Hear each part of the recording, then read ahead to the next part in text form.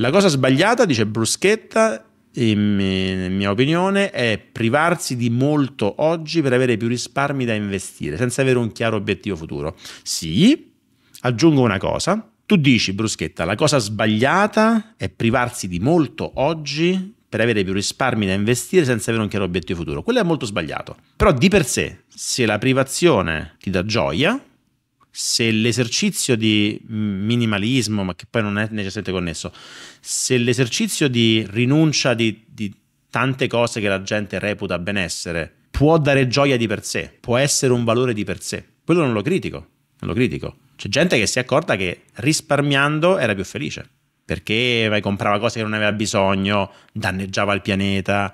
Uh, avere una, una, un'impronta più leggera sul pianeta è una cosa che dà, dà gioia. Cioè il, il monaco buddista che, che, che, che, spende zero ed è già fire è felice di quello che fa, ha, me, ha meno possedimenti, ha meno, è, è, più, è, è, più, robusto, è più resiliente. Se imparo a, a ripararmi il rubinetto da solo, io provo gioia, adesso non ho più neanche il tempo di pensarlo, ma provo più gioia, mi dava gioia, risparmiavo soldi, non era un sacrificio, era, un, era un'acquisizione di skill retribuita che avrebbe migliorato le mie capacità finanziarie per il resto della vita perché i rubinetti me li, me li riparo da solo e che forse se divento pure bravo a fare questo qua posso anche ripararli agli altri e avere una fonte di reddito, quindi diversificare ulteriormente le possibilità. Questo se, se te dà gioia, se a te dà gioia risparmiare di più, imparare a fare le cose in prima persona, essere più frugale, più minimalista, può essere un valore di per sé anche senza avere un piano su cosa faccio con quei soldi. Tendiamo troppo a vedere la privazione come una cosa brutta. Delle volte è bello, delle volte è bello.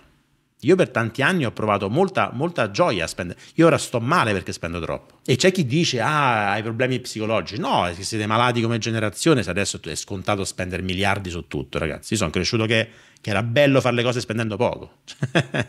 Giuro, i miei nonni erano tutti, tutti e quattro super frugali, ma super frugali che oggi sarebbero fuori dal mondo. Cioè, mio nonno aveva i pomodori, mio nonno coltivava i pomodori, mio nonno mangiava il pane tre giorni prima erano le persone più, più sane e più tranquille che ho mai conosciuto. Io ambisco a, a raggiungere la loro felicità. La privazione può essere allenante, è la stessa cosa che, che c'è nell'elemento sportivo, no? Cioè, perché dovrei andare a correre, a faticare quando posso prendere il motorino? Guarda che correre è bello. Che correre è bello, andare a fare sport è bello, allenarti, poi scopri che riesci a fare 2 km, 5, 10, 20, riesci a fare una maratona. Oh, ma si soffre una maratona, chi me lo fa fare? Per risparmiare Uh, energia in futuro. No, no, è bello. è, bello. è bello anche di per sé. Nono Tom, bentornato. Che ne pensi del modello Renaissance Man di Yael? Ovviamente, no, tu mi conosci, Nono Tom.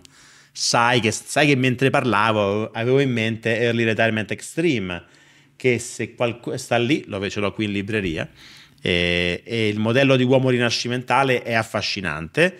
Mi, mi infastidisco perché non sto più lì, perché un tempo inseguivo quell'ideale, eh, sono cambiato e il mondo mi è cambiato, la famiglia, le responsabilità, è tutto diverso ragazzi. Il gioco single player puoi sperimentare, il gioco multiplayer è più complicato, eh, però è fantastica, a me come idea, per me resta ancora una roba, um, una roba evergreen. Eh, vabbè, lo prendo, sta qua, prendo il libro.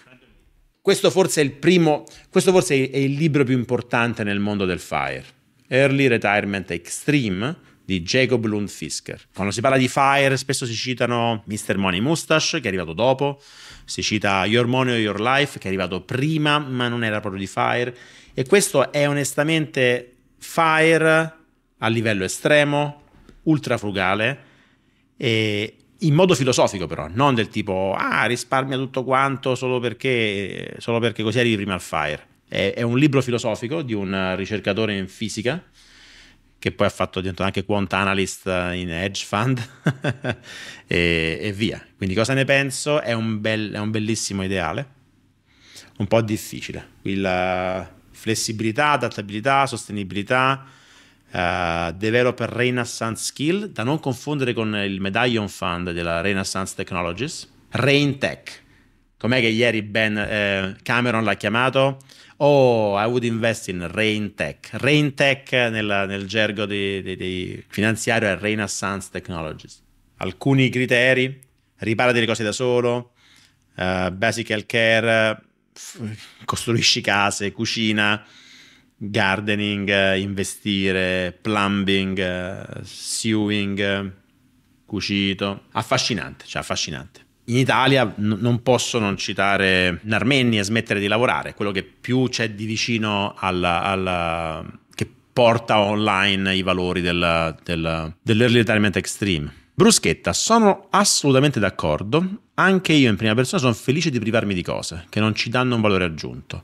Ragazzi, è bello, è, è, è, è la stessa cosa, lo dico, lo dico, da non da un buon esempio, del, del, fare attività fisica quando non la fai, o del, metter, del mangiare meglio quando non lo fai. Cioè, è più comodo mangiare cioccolatini, eh, fa, mettersi a dieta è faticoso, ma poi arrivano, arrivano le gioie. E, non so, io penso che ci sia forse bisogno anche di, di di, di, di, portare questi valori sul canale.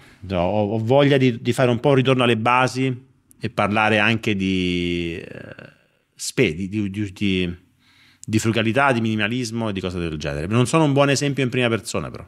Ho visto un video dove uno flexava di aver speso 200k per un'auto e per me erano assurdi i commenti. Sei un grande se spendi tanto e non se spendi poco che non ha nessun senso da un punto di vista razionale. È come invidiare uno che si è fatto male. Questo è belli- oh, bellissimo. Temevo che andava in direzione diversa il tuo commento.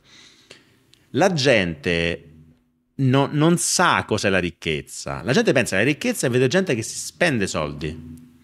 Cioè, tu stai. È come se stai giudicando un vino mentre uno lo rovescia per terra, fa oh wow, com'era buono quel vino, guarda per terra che strane macchie che fa. La ricchezza dei soldi che non spendi, non sono quelli che spendi, quelli che spendi sono lifestyle, non è ricchezza.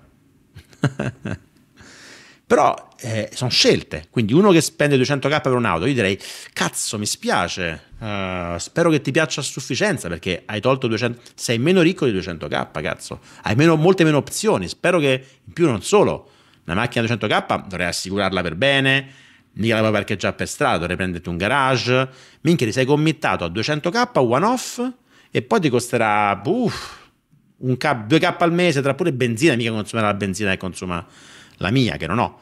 Uh, minchia ti sei committato a 200k adesso e 2K, un pick e un pack a negativi ti sei fatto.